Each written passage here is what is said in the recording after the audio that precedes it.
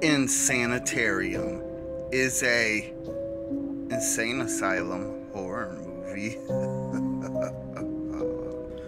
the movie is about this brother whose sister is stuck in this insane asylum. He cannot reach her anymore. For all he knows, she's dead. So he gets the bright idea to, hey, let's break in. And what better way to break in is to act like you're crazy. So this dude just pulls out all the stops. He gets put in the asylum. And yeah, once you're in, they start drugging you. And he's like, man, this is going a little too far. Sees his sister. And he tries to confess, like, look, I'm a normal person. I'm not crazy. I, I made this note so you know I had this was a big plan and this was all set up and basically the warden was like nah you are crazy. Shows them a forged fake note like yeah you didn't actually write a note and they keep him heavily drugged and basically now he thinks he's crazy. Is he crazy? Well onto that later. And the warden. The warden is basically collecting people because he's experimenting on them. Basically, has this drug or this nanites or something that basically is supposed to go to the part of the brain that causes anger and like neutralize it or something.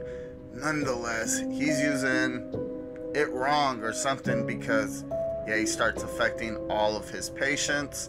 With this, what ends up eventually turning them into huh, these things, spoilers that I'll talk about in the review because I'll really just get into big spoilers in the review. Just know this movie's crazy.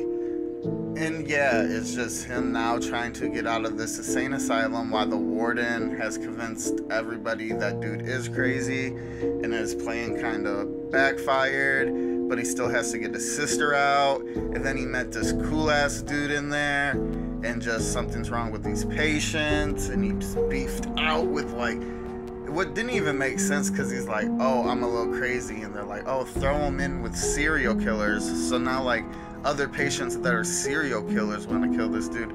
Just no bueno. Does he escape the asylum? You have to watch to find out. so, my review to Insanitarium, and yes, there is going to be spoilers. So, we're just going to start off with the big spoiler, which I wasn't expecting, and uh, honestly, I didn't mind it at all. I actually really enjoyed this movie. So, but they become like zombies. They become hungry for blood. They're still like people. They're not like they could get took down with like regular attacks and like shot to the like stomach or knee or something. It's not like headshots or nothing, but yeah, they basically become zombies and it becomes a massive bloodbath as just this movie really just gets violent and gory and just chaotic right about the time when uh, they start to make their escape from the asylum. But there is a couple parts in this movie that were just crazy. The first part was well just one of the parts was the uh, the lady with the scar who's always naked. She uh, ate the security guard's dick off. That was pretty fucking crazy. The one part when dude was petting that cat, found his cat, started petting it, and ripped his head off, and they started eating it. That was crazy. That was just a bloodbath. When uh, old girl sticks her arm in the cage and gets it ripped off, and dude's just eating it. That was crazy. When they're going through like trying to escape and you just see the one chick eating her own intestine because they're just bloodthirsty. That was crazy. There's just a bunch of crazy bloody parts in this movie. Like this movie really just turns up. It's crazy. The acting was insanely good because it's a bunch of people acting like crazy people and this had that unsettling man these motherfuckers are crazy feeling like honestly like it was a really really good like asylum movie also There were some actually well lit scenes in this movie. Was pretty surprised.